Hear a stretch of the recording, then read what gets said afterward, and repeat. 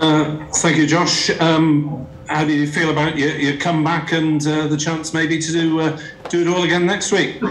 Yeah, well, it's nice to get um, well, 75 minutes under my belt. Um, it was good to last last Friday to get 80 minutes with uh, Cardiff, but um, yeah, it's obviously a step up um, internationally. Um, but it was, it was good to get out there. Obviously, shame about the result. Felt like we probably left a few chances out there and probably well could have got the win. Frustration after uh, two narrow defeats in a row now.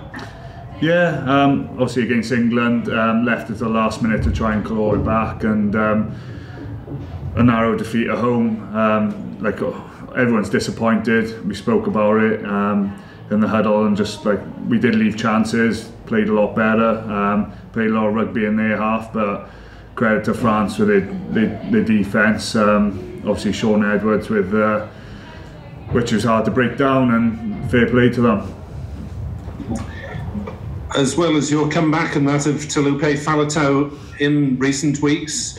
We've heard now that uh, Alun Wyn Jones will be available for selection against Italy. Uh, how much does that uh, benefit the squad? Um, I, di- I didn't know that until you said. Um, obviously, he's a he's a massive part of the team, and he's a, he's a big character as well, and um, leadership, um, and just the standards he brings in training as well. Um, it would be nice to see him back on the on the pitch. Um, obviously, uh, fingers crossed, um, he comes through well and does all the. I don't know what's going on there, but he does all the uh, all the rehab and contact prep he needs to do and get himself right.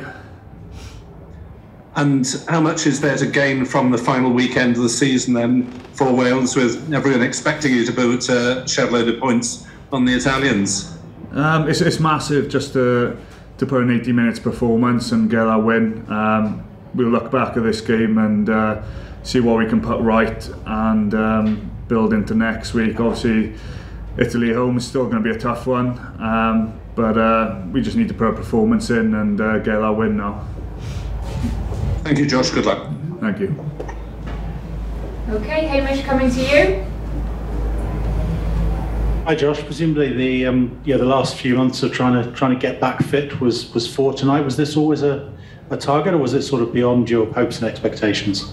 Um, it was it was beyond really. Um, I didn't realise I was going to get called in or anything. It was little chats and rumours, but at the end of the day, I was looking for Cardiff first, and I knew being out for four and a half months, I need to just put in the work, make sure my shoulder's right and strong, and. Um, I was lucky to get out against Ulster, get that hit out, and get a surprise phone call the the next day. But like, obviously, you grab it with both hands and can never turn it down. So yeah, it's just nice to be amongst the squad. Um, I didn't realise I was going to play, um, but I thought I was just going to come in to train. But it's nice to actually get back out there and uh, in front of a home crowd